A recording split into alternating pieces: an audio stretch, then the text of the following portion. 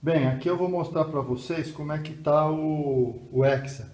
É um frame da Tarot, um FY680 Pro, com motor Sun Sky de 480.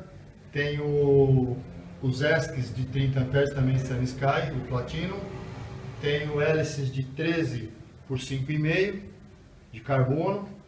Tem a GoPro aqui na frente com o Zenmuse é, H3 3D tá? Um suportezinho do GPS aqui para a gente poder dobrar. Uma carcaça que parece fibra de carbono, mas é, é fibra normal. Tem uma bateria de 6S aqui e na parte inferior foi instalado o Light Bridge, tá? O Marcelo instalou para mim. Inclusive a antena foi colocada para lado de fora porque estava dando um problema aqui na parte de dentro estava impedindo um pouco o sinal.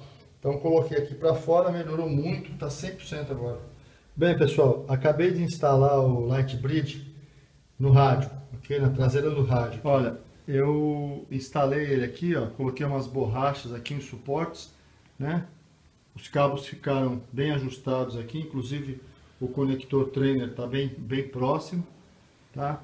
Aqui eu tenho o power dele, bem à mão, né? No caso, fácil de visualização da energia, do, do montante de energia, tá? E aqui tem o iPad, o iPad e um Samsung. Eu estou querendo colocar eles aqui na frente, aqui nesse suporte aqui, ó. Então estou encomendando agora um suporte e depois que eu fizer a instalação eu vou ver se eu coloco o iPad ou o Samsung. Vou escolher, vou ver qual que melhor que fica adaptado. Eu gostaria de colocar o iPad por causa do tamanho, né? A imagem ficaria melhor. Mas esse aqui acho que também fica tá? bem legal. Em breve eu faço outra demonstração aí do, dele voando e fazendo as imagens.